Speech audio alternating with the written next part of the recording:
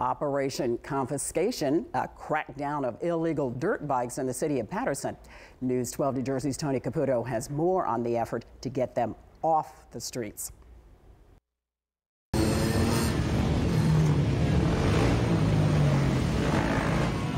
ATVs, dirt bikes, motorcycles, all illegal, terrorizing neighborhoods. Calls to City Hall being answered in the form of Operation Confiscation. Paterson's answer to those who want to see this type of illegal activity off their streets.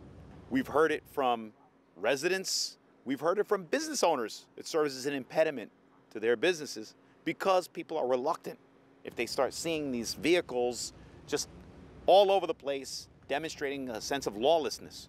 This zero tolerance approach has led to more than a dozen vehicles seized and now sitting in the impound lot instead of running red lights and creating havoc. They travel in packs, sometimes as many as 75, right?